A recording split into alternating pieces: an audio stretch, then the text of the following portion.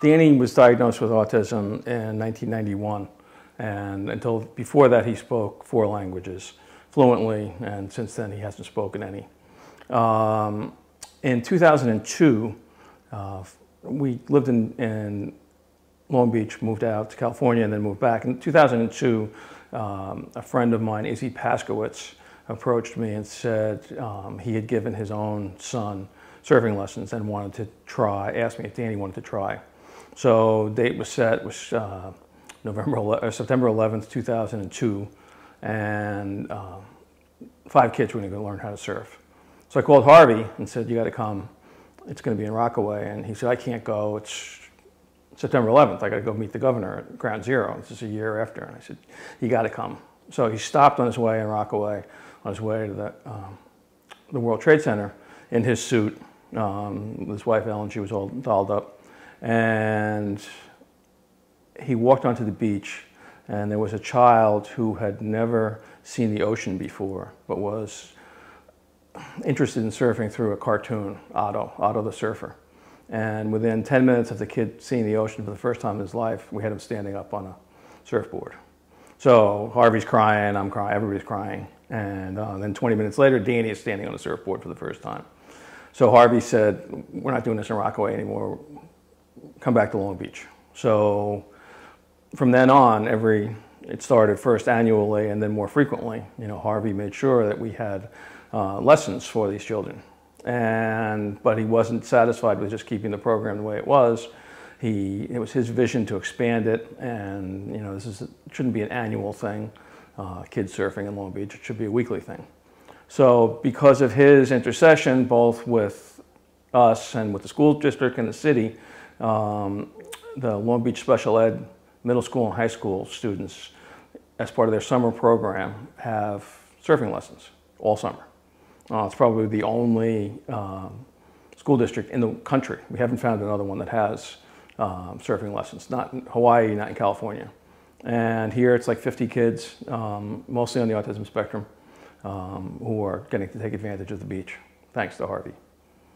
Harvey was one of the first people to kind of help me figure out what it was, that, how to deal with my son. His view is you need to look at a person's ability, not their disability.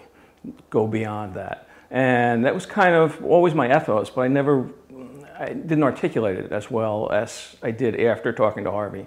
And, you know, when people said, no, we're not putting autistic kids in the ocean, it's too dangerous, um, Harvey said, that's ridiculous. I've seen Danny swimming. Uh, Danny's a fine swimmer. He swims almost as well as I do. So why shouldn't he be in the ocean?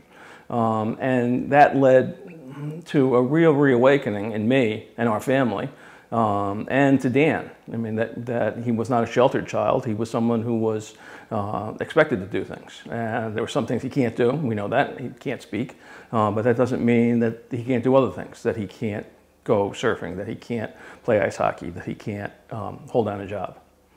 Uh, so Harvey was, was, because he's living the life, um, that's probably more impressive to people who don't have a disability uh, because those of us in the disability community, um, while we love Ricky, um, we know that Ellen and Harvey are not driven just by that. They're driven by a greater sense of humanity. Um, and when you're in the disabilities community, you develop a pretty good um, detector for people who are pandering you. And there's no harm pandering with Harvey.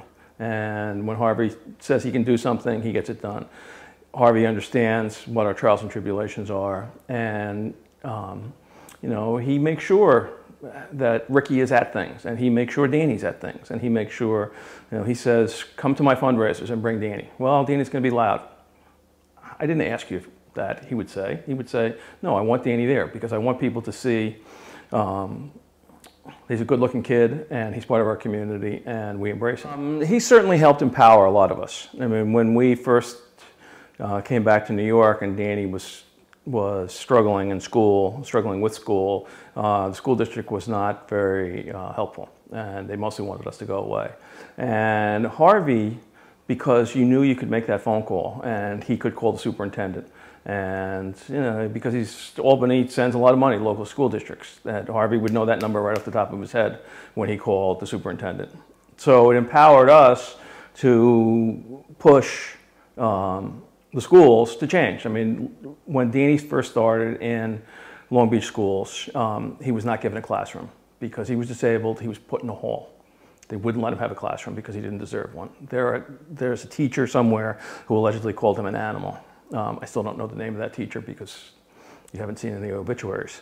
But um, because of what we did with Harvey's help, and we took on the school district, um, Long Beach went from being one of the worst autism programs in the state to perhaps the best. Um, right now, Garden City and Great Neck send their autistic children to Long Beach because the program is so good. And the reason it's good is that parents demanded it, and we had, with, we had the backing of somebody like Harvey.